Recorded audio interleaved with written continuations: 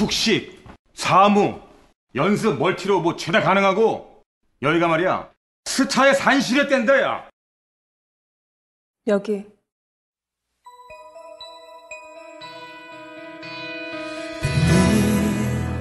날 지금껏 버려둔 세상도 다내 안에 품은 채 살 거야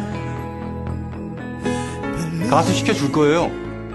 정말 책임질 거냐고요?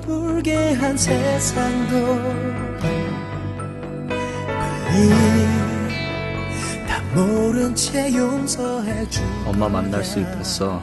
스타 되면.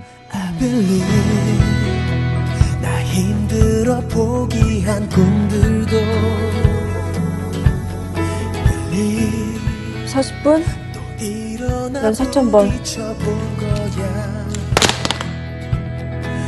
거야 나 힘들어 싫어진 사람도 Believe 또 언젠가 날 찾아올 거라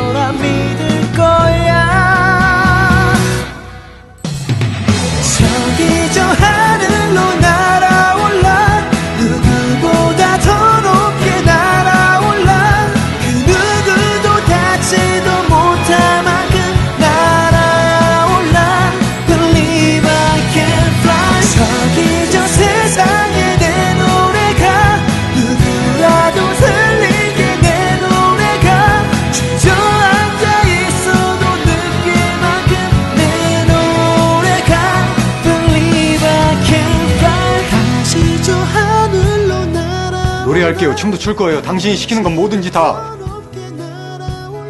가. 기다리자.